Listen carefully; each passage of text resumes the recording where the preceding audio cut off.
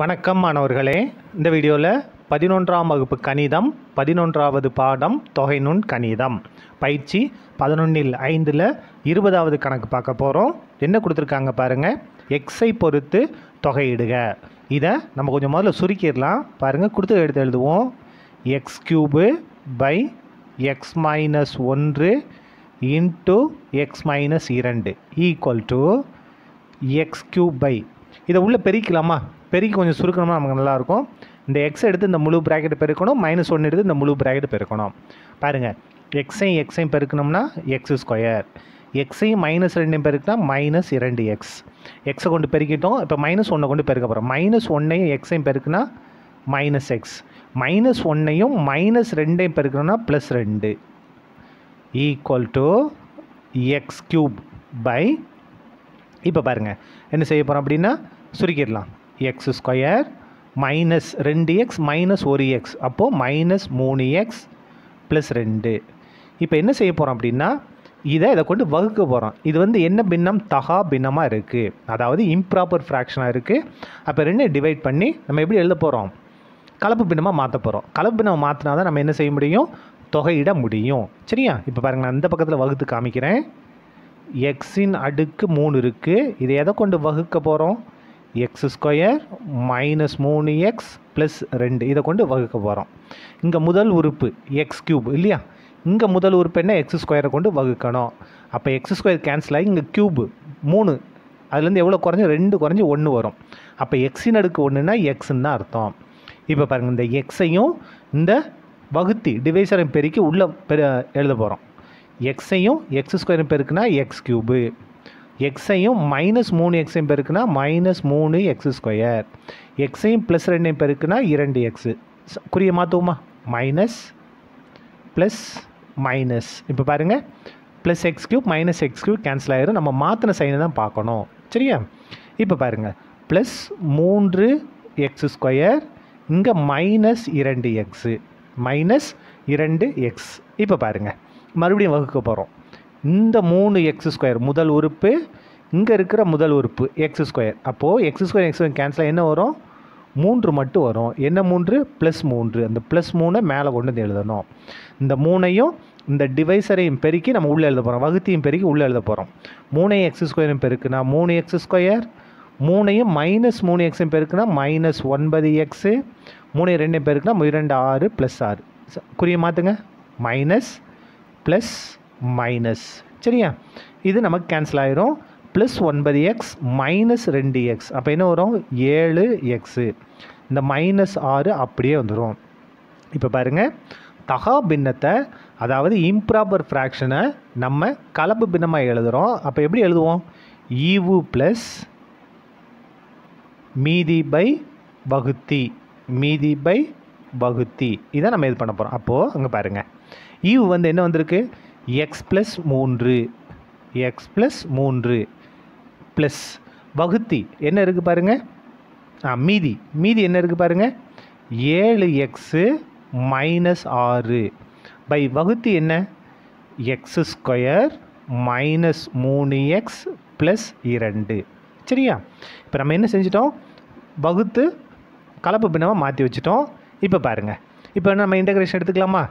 Therefore integration x cube by x minus ஒன்று into x minus இரண்டு into dx இவங்களுக்கு தனித்தனியாக எடுத்துக்கலாம். இதுக்கு தனியாக இதுக்கு தனியாக எடுத்துக்கலாம். இன்டகிரேஷன் எக்ஸ் ப்ளஸ் மூணு இன்ட்டு டிஎக்ஸ் ப்ளஸ் இன்டகிரேஷன் ஏழு எக்ஸு மைனஸ் ஆறு பை எக்ஸ் ஸ்கொயர் மைனஸ் மூணு எக்ஸ் ப்ளஸ் ரெண்டு. அது எதுலேருந்து வந்திருக்கு பாருங்கள் இந்த x minus one x minus ரெண்டுலேருந்து தான் வந்திருக்கு.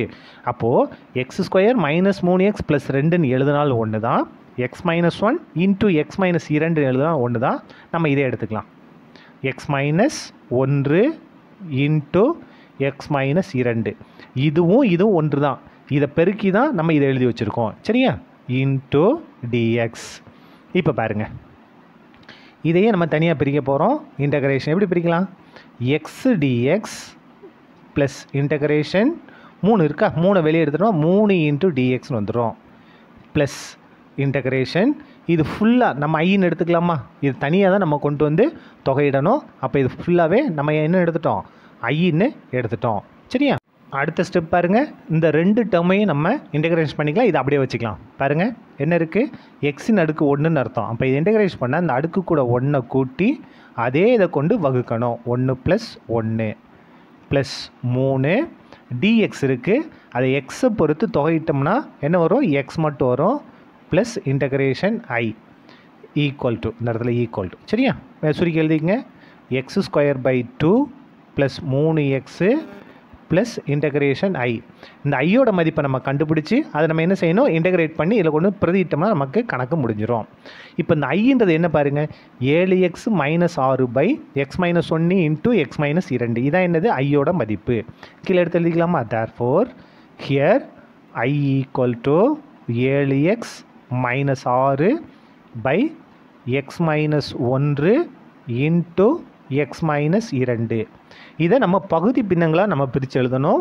எப்படி நம்ம பகுதி பின்னங்களாக பிரிக்கலாம் அப்படின்னா ஏ பை எக்ஸ் மைனஸ் ஒன்று plus B by x minus இரண்டு. பகுதி பின்னங்களை பிரிச்சிட்டோமா? இப்போ பாருங்கள் இந்த இடது பக்கத்தில் இருக்குது எந்த மாற்றமும் இல்லை? ஏழு எக்ஸு மைனஸ் ஆறு பை எக்ஸ் மைனஸ் ஒன்று இன்ட்டு எக்ஸ் மைனஸ் இரண்டு. எந்த மாற்றமும் இல்லை? வலது பக்கத்தில் குறுக்கு பெருக்கல் எடுத்துரும் முதல்ல பகுதி பெருக்குமா? எக்ஸ் மைனஸ் ஒன்னையும் எக்ஸ் மைனஸ் இரண்டையும் பெருக்கி எழுதிட்டோம். இப்போ குறுக்க ஏவையும் எக்ஸ் மைனஸ் இரண்டையும் பெருக்கிறோம். ப்ளஸ் பியவும் எக்ஸ் மைனஸ் ஒன்னையும் பெருக்கிறோம். அப்போ B into x minus one இப்போ ஏ மற்றும் பியோட மதிப்பை கண்டுபிடிச்சி இதில் ஒன்று பிரதிட்டோம்னா நமக்கு என்ன கிடச்சிரும்? இந்த ஐன்றது கிடச்சிரும். வேணால் இதை ரெண்டுன்னு எடுத்துக்கோங்க. இப்போ பாருங்கள் இங்கே இடது பக்கத்தோட பகுதியில் x minus one into x minus two இங்கேயும் பகுதியில் அதே தான் இருக்குது அப்போ கேன்சல் ஆயிரும். மிச்சம் என்ன இருக்குது பாருங்கள் ஏழு எக்ஸு மைனஸ் ஆறு equal to A into x minus இரண்டு plus B into x minus ஒன்று இதிலிருந்து தான் நம்ம ஏ மற்றும் பியின் மதிப்புகளை கண்டுபிடிக்க போகிறோம் என்ன செய்யலாம் பாருங்கள் எக்ஸுக்கு வந்து ரெண்டுன்னு பிரதியிட்டோம்னா இந்த உறுப்பு வந்து ஜீரோ ஆயிரும். எக்ஸ் ஈக்குவல் டு ரெண்டு என பிரதியிட. அப்போ இந்த இடத்துல ரெண்டுன்னு பிரதியிடுவோமா? அப்போ ஈரேழா பதினான்கு மைனஸ் ஆறு ஈக்குவல் டு இந்த இடத்துல ரெண்டுன்னு பிரதியிடுவோம். ரெண்டு மைனஸ் ரெண்டு ஜீரோ அப்போ இந்த முழு உறுப்புமே ஜீரோவாக மாறிடும் அப்போ பாருங்கள் பி இன்ட்டு இந்த இடத்துல ரெண்டுன்னு பிரதியிடுவோம். ரெண்டுலேருந்து ஒன்றை கழிச்சோம்னா ஒன்று பதினாலிருந்து ஆறை கழிச்சோம்னா எட்டு. எட்டு ஈக்குவல் டு பி அப்போ பியோட மதிப்பு என்ன? எட்டு விச் இம்ப்ளைஸ் பியோட மதிப்பு எட்டு. இப்போ நமக்கு ஏவோட மதிப்பு வேணும். அப்போ என்ன செய்யலாம் பாருங்கள் எக்ஸுக்கு பதிலாக இங்கே மைனஸ் ஒன்று இருக்கா அப்போ எக்ஸுக்கு பதிலாக ப்ளஸ் ஒன்றுன்னு பிரதியிடுவோம். பிரதியிடலாமா இந்த இடத்துல ஒன்றுன்னு பிரதியிட போகிறோம் ஓரேலா ஏழு மைனஸ் ஆறு அப்படியே வந்துடும் ஏ இன்ட்டு எக்ஸுக்கு பதிலாக ஒன்று ஒன்று மைனஸ் ரெண்டு. அப்போ என்ன வரும்? மைனஸ் ஒன்று. இப்போ பாருங்கள் ஏழு மைனஸ் ஆறு அப்படின்னா ப்ளஸ் ஒன்று ஈக்குவல் டு மைனஸ் ஏ அப்போது நமக்கு ஏவோட மதிப்பு தான் வேணும். அப்போ மைனஸ் இந்த பக்கம் கொண்டு வந்துடலாமா அப்போ ஏ ஈக்குவல் டு மைனஸ் ஒன்று. மைனஸ் ஏ ஈக்குவல் டு ஒன்றுனா ஏவோட மதிப்பு மைனஸ் ஒன்று இல்லை மைனஸ் ஒன்று பெருக்கிட்டோம். எப்படினாலும் நீங்கள் ஞாபகம் வச்சுக்கோங்க. சரியா? இப்போ பாருங்கள் ஏ மற்றும் பியின் மதிப்புகளை கண்டுபிடிச்சிட்டோம். இப்போது ஐ ஐயில் கொண்டு போய் எழுதுவோமா? ஐன்றது என்னது? இந்த ரெண்டு உறுப்பு. இல்லையா? முதல்ல ஏ ஏவோட மதிப்பு என்ன பாருங்கள் மைனஸ் ஒன்று பை எக்ஸ் மைனஸ் ஒன்று. ப்ளஸ் பியோட மதிப்பு என்ன பாருங்கள் எட்டு பை எக்ஸ் மைனஸ் இரண்டு. இதை தான் நம்ம என்ன செய்ய போகிறோம் தொகையிட போகிறோம் இன்டகிரேஷன் இங்கே இங்கேயும் இன்டகிரேஷன் அதே மாதிரி இங்கேயும் இன்டகிரேஷன் எல்லாத்தையும் டிஎக்ஸ் போட்டுக்கோங்க. டிஎக்ஸ் இங்கேயும் டிஎக்ஸ் இன்னொரு சின்ன சேஞ்ச் பண்ணிக்கலாமா? இந்த மைனஸை நம்ம வெளியே எடுத்து வச்சுருவோம். Minus integration one by x minus one into dx plus அதே மாதிரி இந்த எட்டை வெளியே எடுத்து வச்சுருவோம். எட்டு integration one by x minus இரண்டு இன்ட்டு டிஎக்ஸ் இப்போ பாருங்கள் நம்ம தொகையிடலாம். ஈக்குவல் டு இந்த மைனஸ் அப்படியே வந்துடும் ஒன்று by x minus one into dx இங்கே எக்ஸோட அடுக்கு என்ன இருக்குது ஒன்று இருக்குது அப்போ இது வந்து லீனியர் வடிவம். அப்போது இதை நம்ம இன்டகிரேட் பண்ணோம்னா நமக்கு என்ன வரும்? Log of modulus x minus ஒன்று. இந்த பகுதி அப்படியே வந்துடும் ப்ளஸ் எட்டு இங்கே என்ன வரும்? இங்கேயும் லீனியர் தான். எக்ஸ் மைனஸ் இரண்டு தான். ஒன்று பை எக்ஸ் மைனஸ் ரெண்டு இன்ட்டு டிஎக்ஸ் அப்போ நம்ம இதை எக்ஸை மட்டும் தான் நம்ம கன்சிடர் பண்ணால் போதும். இங்கே என்ன வரும்? Log of modulus of x minus இரண்டு ப்ளஸ் சி இதுதான் நமக்கு தேவையான ஐயோட இன்டகிரேஷன் இதை கொண்டு போய் எதில் நம்ம பிரதியிடணும்? இந்த முதல் இது இருக்கா? இதில் பிரதியிட இந்த ஐக்கு பதிலாக பிரதியிட்டோம்னா நமக்கு கணக்கு முடிஞ்சுது. தேர்ஃபோர் இடது பக்கம் எந்த மாற்றமும் இல்லை. Therefore integration x cube by x minus ஒன்று இன்ட்டு எக்ஸ் மைனஸ் ரெண்டு இன்ட்டு டிஎக்ஸ் ஈக்குவல் டு என்ன நம்ம ஏற்கனவே கண்டுபிடிச்சி வச்சுருக்கோம்? எக்ஸ் ஸ்கொயர் பை இரண்டு ப்ளஸ் மூணு எக்ஸ் நம்ம ஏற்கனவே கண்டுபிடிச்சி வச்சுருக்கோம். ப்ளஸ் இங்கே தான் என்ன இருக்குன்னா இன்டகிரேஷன் ஐ இருக்குது பாருங்கள் இதை நான் எடுத்து அப்படியே எழுதிட்டேன். ப்ளஸ் இன்டகிரேஷன் ஐ மட்டும் இருக்குது அந்த வேம் மதிப்பு மட்டும் நம்ம எடுத்து எழுத போகிறோம் பாருங்கள் இன்டகிரேஷன் ஐயோட மதிப்பு இங்கே இருக்குது இல்லையா? அப்போ இந்த நமக்கு என்ன வரணும்? மைனஸ் வரணும் இல்லையா? Minus log of modulus x minus ஒன்று ப்ளஸ் எட்டு log of modulus x minus இரண்டு ப்ளஸ் சி இதுதான் இதை தொகையிட்டு கிடைக்கக்கூடிய ஆன்சர் என்ன? எக்ஸ் ஸ்கொயர் பை இரண்டு ப்ளஸ் மூன்று x minus log of modulus x minus ஒன்று ப்ளஸ் எட்டு லாக் ஆஃப் எக்ஸ் மைனஸ் இரண்டு ப்ளஸ் சி சரியா? அவ்வளோதான் இந்த கணக்கு முடிந்தது. நன்றி.